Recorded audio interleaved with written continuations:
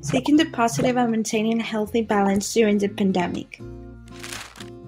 Coronavirus has changed our daily lives. The uncertainty of how our lives will be from now on has affected the world's population daily routines.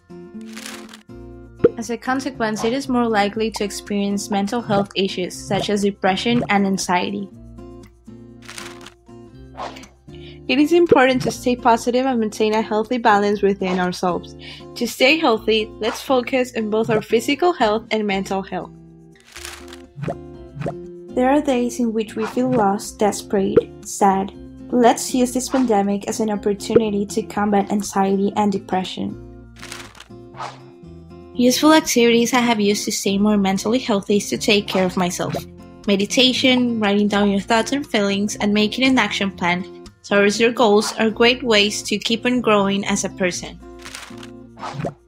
FIU offers several resources to help students take control of their mind and body. Several classes such as yoga for stress and depression, as well as meditation and visualization, are available for students for free. We all know it's not easy, but if we set up our minds to it, we will succeed.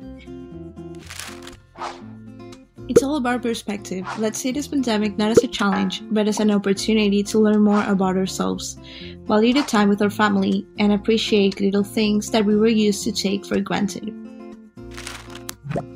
This is an opportunity for us to grow. Looking for activities that help us stay focused on ourselves and our goals will result in a better, healthy mindset.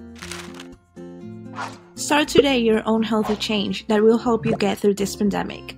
Let us start, first of all, by thinking in positive thoughts rather than negative ones, and we will see how our lives will change for better. Be safe, take care of yourself, and stay positive.